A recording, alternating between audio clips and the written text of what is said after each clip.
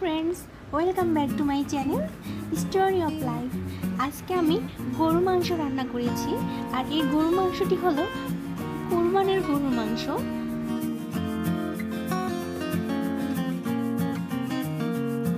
এই গরু মাংসটি ভালো করে ধুয়ে নিয়েছি।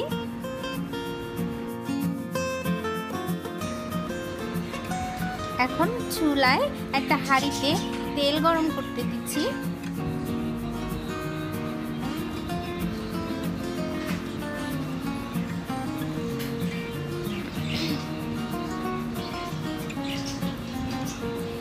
তেলটি গরম হয়ে যাওয়ার পরে আমি কিছু তেজপাতা দিয়ে দিয়েছি এবং এক এক করে মশলাগুলো দিব।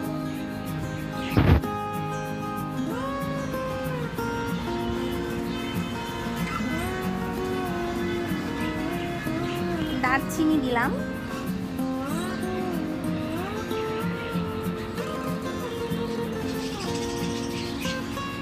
লং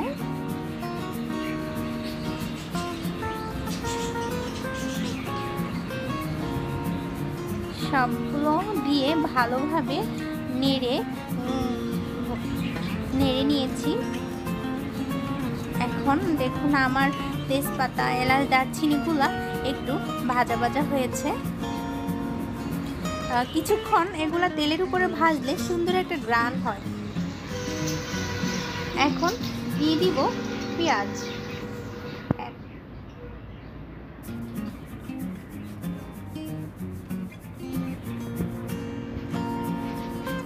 পেঁয়াজ দেওয়ার পরে কিছুক্ষণ নাড়ব।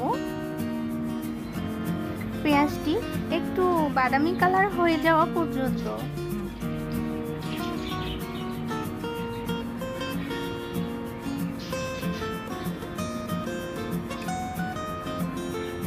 দেখুন, আমার পেঁয়াজটি হালকা হালকা বাদামি কালার হয়ে আসছে। তো আমি এখন এখানে দিয়ে দিব এক বাটি রসুন বাটা।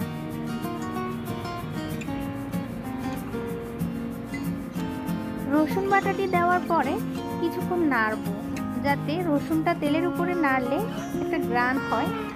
ওই গ্রানটার জন্য কিছুক্ষণ নেড়ে ভেজে নিব।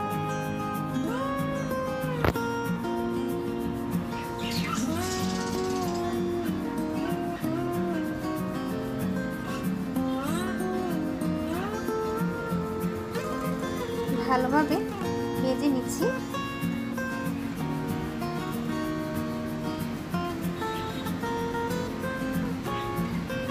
দিয়ে দিচ্ছি আদা বাটা।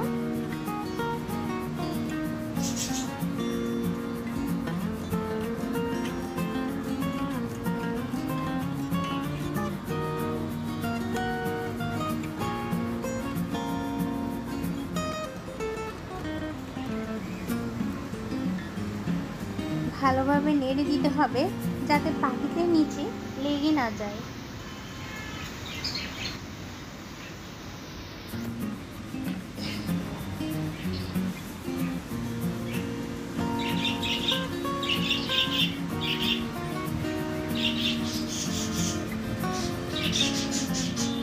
দেখুন আমার মশলাটা অনেকটাই ভাজা ভাজা হয়েছে। এখন দিয়ে দিচ্ছি জিরা বাটা।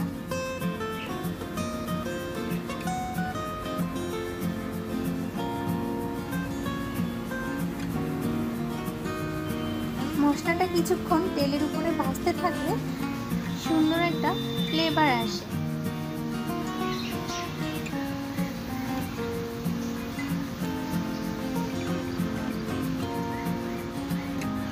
এখন এক এক করে সবগুলো গুঁড়ো মশলা দিয়ে দিব।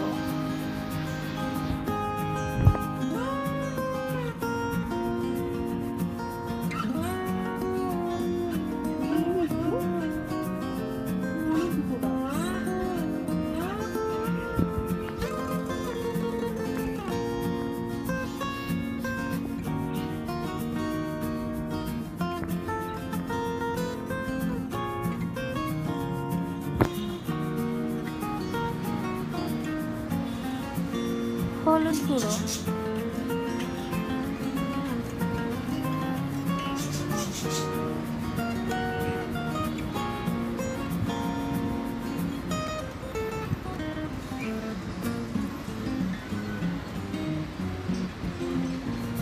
হলুদ গুঁড়োটি দেওয়ার পরে এবার ভালোভাবে মশলাটা কষিয়ে নিব।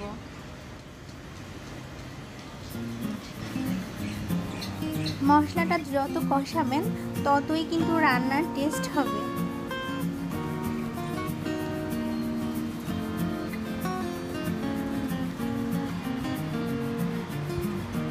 দিয়ে দিলাম পরিমাণ মতো লবণ।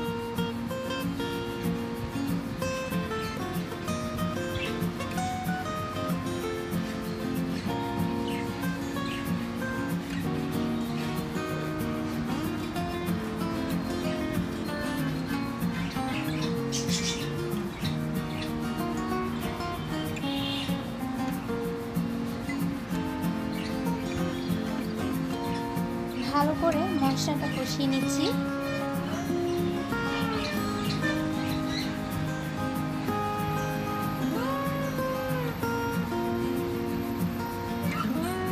আমার মশলাটা প্রায় কষানো শেষ হয়ে আসছে। এখন আমি দিয়ে দিব পানি।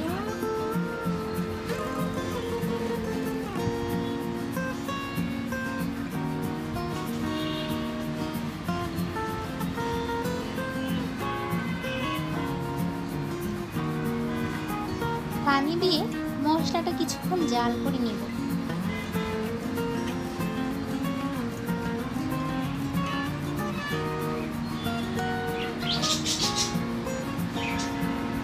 দিয়ে দিচ্ছি হাফ টেবিল চামচ টেস্টিং সল্ট। এটা স্বাদ বাড়ানোর জন্য। টেস্টিং সল্টের পরিমাণ কিন্তু বেশি দেওয়া যাবে না। অতিরিক্ত স্বাদে আমার কোনো কিছু ভালো লাগে না।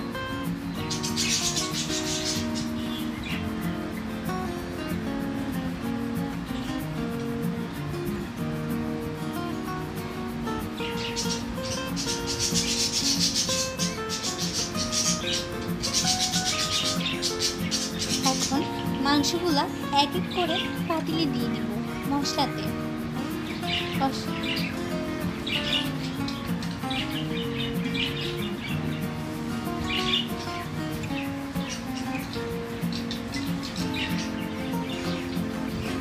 মাংসগুলো এক এক করে দিয়ে দিচ্ছি।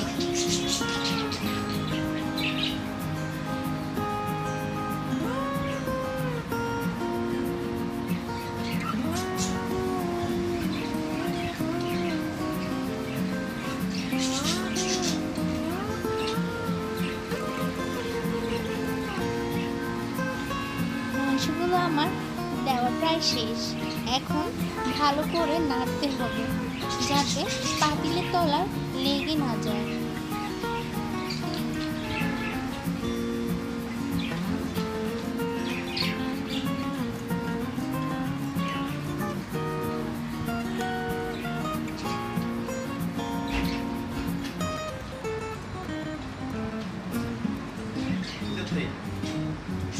হ্যাঁ?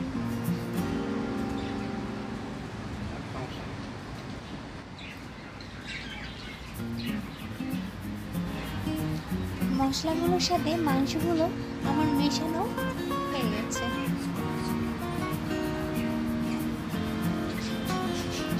দেখুন মাংসগুলোর থেকে কত পানি বের হয়েছে।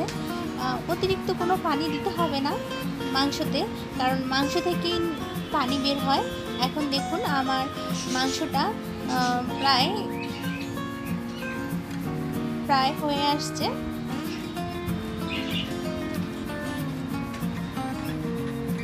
দেখছেন আমার মাংস কত সুন্দর হয়েছে রান্না করা। খুব লোভনীয় হয়েছে। আজ এ পর্যন্তই বন্ধুরা। রেসিপিটি ভালো লাগলে কমেন্ট করে জানাবেন এবং সাবস্ক্রাইব করবেন।